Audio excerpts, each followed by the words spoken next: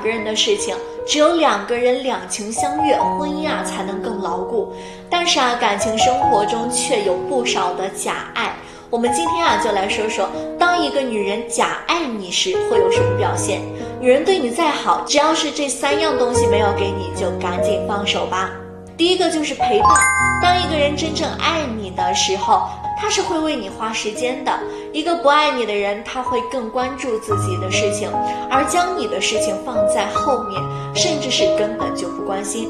当你需要陪伴的时候，爱你的女人就会守在你的身边，他们会关心你心里的想法，问你发生了什么，还会帮你一起解决问题。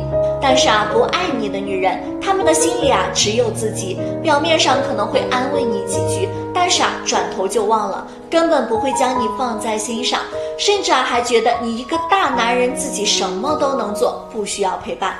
第二个啊就是信任。婚姻之间啊，最重要的就是信任。女人信任男人，才会将自己的一生托付给他；男人信任女人，才会和这个女人相守一生。但是啊，如果是一个不信任你的女人，他们是不会将自己的心事儿告诉你的。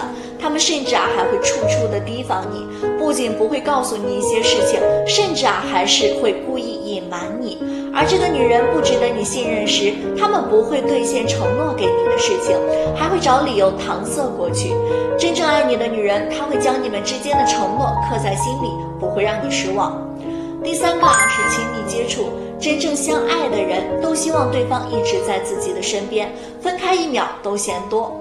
但是不爱你的人，就算你抱一下他，他都会推开你。在他的心里啊，我就是一个外人。他们根本就不是真正的喜欢你，跟你在一起可能只是为了凑合，又或者是因为家里人施加的压力，被迫与你在一起而已。背叛信任与亲密是最能检验一个人是不是真心爱你的东西。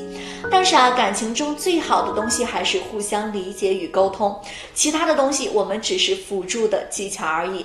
好了，本期的视频。